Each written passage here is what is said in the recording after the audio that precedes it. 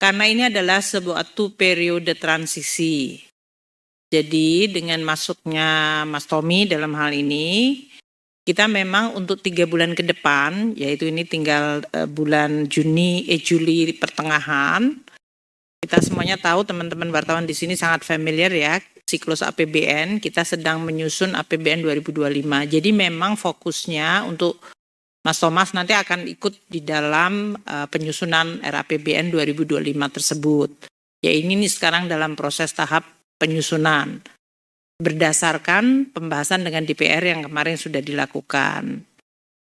Tentu dengan masuknya Mas Thomas ya di sini akan membuat seluruh komunikasinya menjadi jauh lebih mudah. Kalau kemarin itu kita biasanya mengundang tadi sekaligus menanyakan apakah maksud masuknya Mas Thomas ini karena kita tidak ada hubungan yang bagus. Enggak, justru karena selama ini bagus namun dengan adanya di dalam kan jadinya nggak perlu harus ada pertemuan khusus karena sekarang dengan Mas Thomas sudah ada di sini.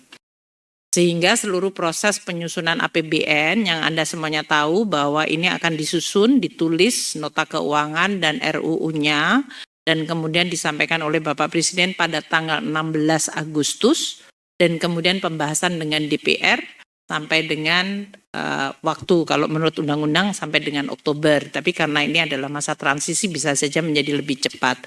Tapi kita tidak mau mendahului. Pokoknya secara undang-undang bisa sampai Oktober. Nah, ini yang dengan adanya Mas Thomas menjadi lebih mudah karena berarti komunikasi sudah otomatis terjalin untuk menampung tadi berbagai program-program prioritas yang sudah disampaikan oleh Pak Prabowo eh, dan Wakil Presiden terpilih Gibran dan bagaimana memasukkan di dalam APBN 2025.